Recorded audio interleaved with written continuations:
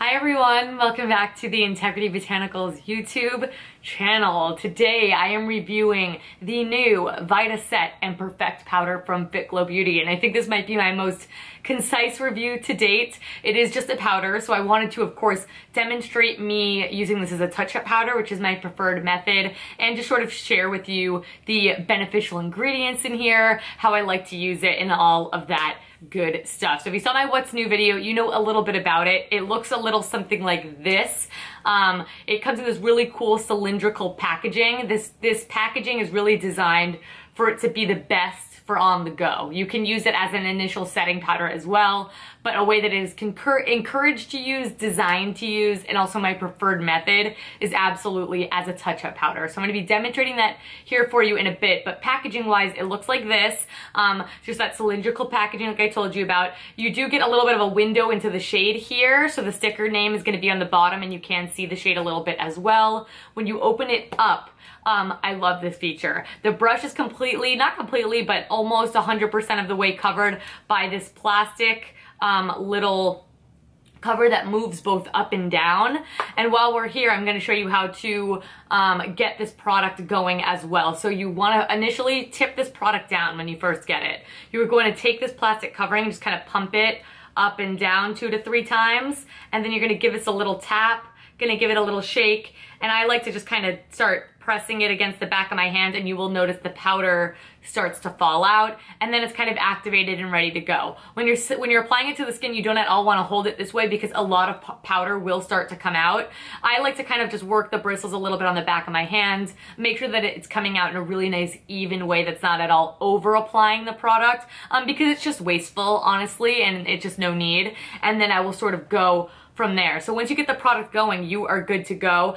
I thought this might work on a refill system, but I didn't see any refills on the website because you could separate the brush from that little bottom powder part here as well. Would not encourage doing that. It does go absolutely everywhere because it's like a loose powder living in here, but just something to be mindful of. So um, so packaging is really incredible. I love it this, uh, the plastic part covers the bristles because it stops them from getting all splayed out from the cap and this is really, really easy to just throw in the purse and go. I think it's designed beautifully. All right, anyways, packaged beautifully. We love that.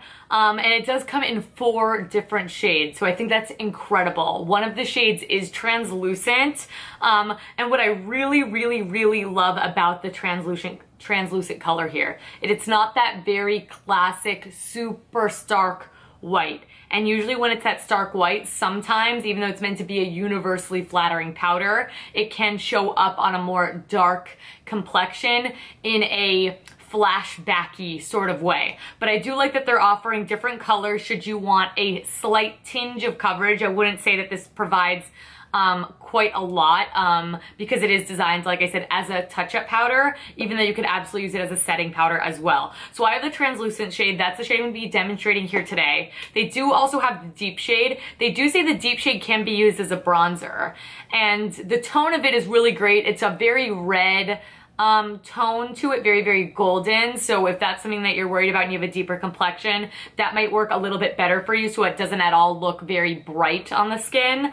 Um, however, it's not a terribly deep shade, but like I said, it's not really meant to add a ton of additional coverage. So for me, this delivery system, I would not use this as a bronzer. I think it just kind of lends itself to looking very patchy on the skin, over applying it. I might try to like do this, you know, and like apply it to my skin, but I'm gonna save this more as like a setting powder option, but I will play around with it. So we do have the translucent shade. They do also offer a light, medium, and deep.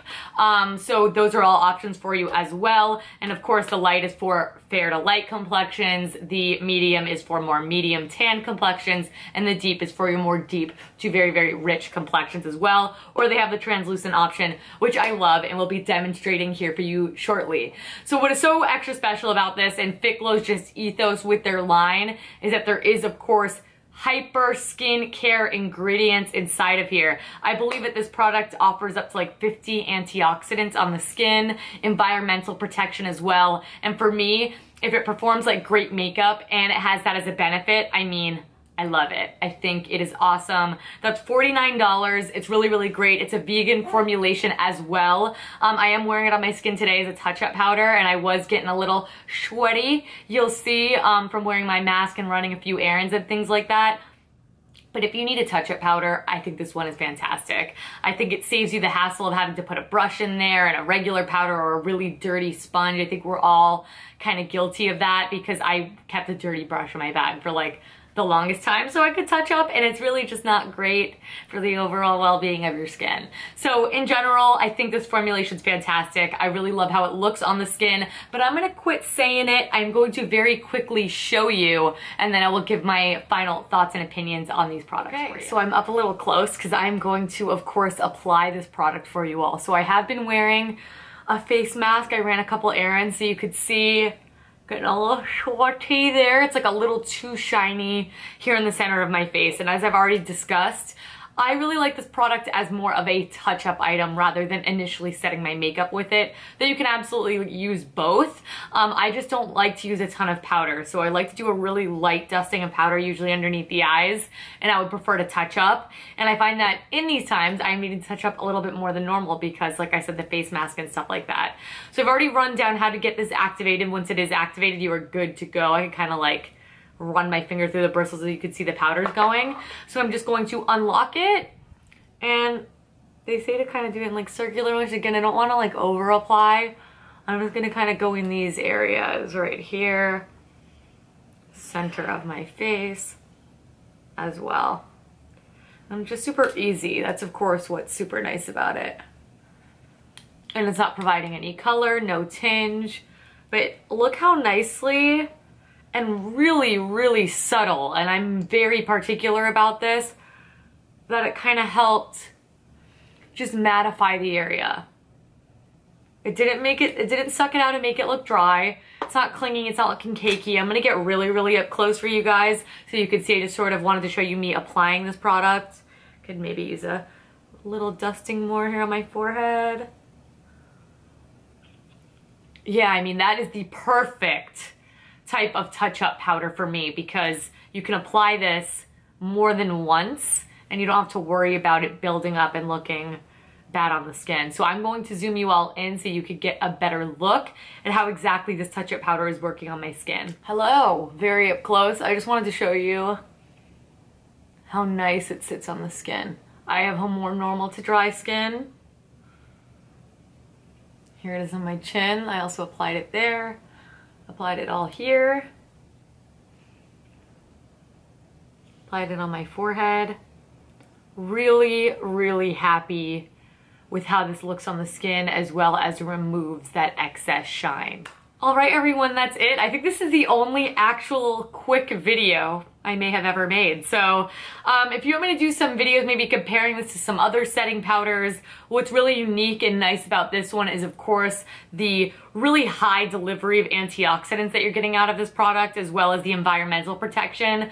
Not only that, um, it is designed to be more of a touch-up powder. So what I like about that is that it layers really nicely. Of course, the packaging is really, really genius. Fitglow really thinks about things like that, which I love.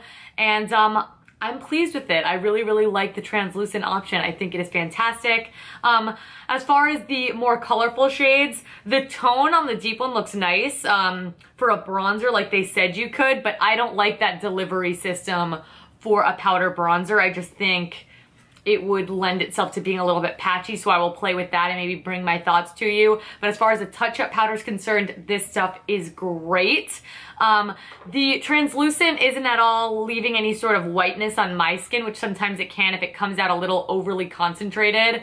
Um, so I think this would be good for majority of skin tones. Of course, if you have a very, very deep complexion, I would probably go with one of the more tinted options just to play it safe and get the same results. But anyway, um, I will link that product down below, of course, so you all could check it out. If you have any questions, comments, concerns, please do not hesitate to ask. I am here to help. I'm wearing a new Fit Glow lip gloss release as well. Um, I swatched these on IGTV. I'll leave that down below so you can check it out. But please let me know you'd like to see review next. Thank you so much for watching. Please give this video a big thumbs up and subscribe. I do upload here twice weekly and I do not want you guys to miss it. Um, and that's it. Thank you all for all the love and support and I will catch you in my next one. Bye.